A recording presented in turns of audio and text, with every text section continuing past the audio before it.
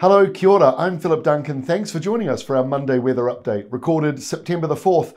And we're forecasting plenty of westerly winds for New Zealand this week. That makes it wetter in the west, drier in the east, and over in Australia, a cold blast, a big southerly coming in for you. Let's explain it all on the animated wind map today showing air pressure. So high pressure to the white out here to the east of New Zealand, low pressure in the darker shading. So we've got a low out here in the Tasman. It is falling apart, but it's the reason why the top of the country's been windy for the last couple of days classic squash zone between a big high and a low pressure zone, so that nor'easter blowing through. But as the low crumbles, it falls apart today and tomorrow, those winds will gradually ease and they'll turn around from being an easterly like it is at the moment to being a westerly associated with this bigger system, big sort of stormy stuff down in the Southern Ocean. And that's about to move uh, into the southeastern corner of Australia.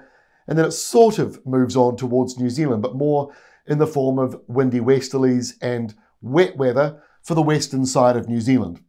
Now, the cold nights, well, they are certainly melting at the moment. We had lots of frost last week.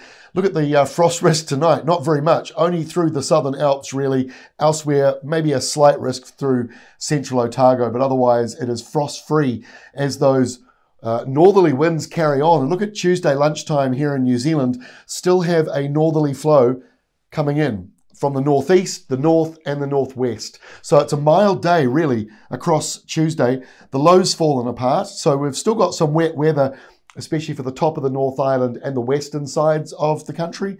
But those winds are turning more westerly and Plenty of westerly winds in Australia as well, with Tasmania and the southern part of Western Australia most exposed. Perth had some rain yesterday as well. As we go through to Wednesday, you can see that colder change starting to build up here in Western Australia. Warm, windy nor'westers, though, for Victoria and Tasmania. And speaking of warm, windy nor'westers, that's the forecast for New Zealand on Wednesday. Got a new low down here, a new cold front moving in, and plenty of windy weather and showers in the west. Classic September setup for you.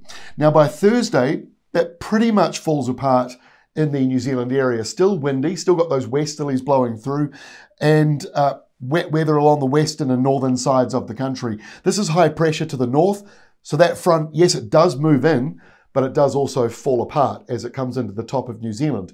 But look at Australia, big southerly blast coming around this big high over Western Australia. So big southerlies coming in here, windy gale force conditions, Adelaide getting a blast of southerlies, and then as we go through later into Thursday night, it'll move into Tasmania and Victoria because by Friday, look at that setup.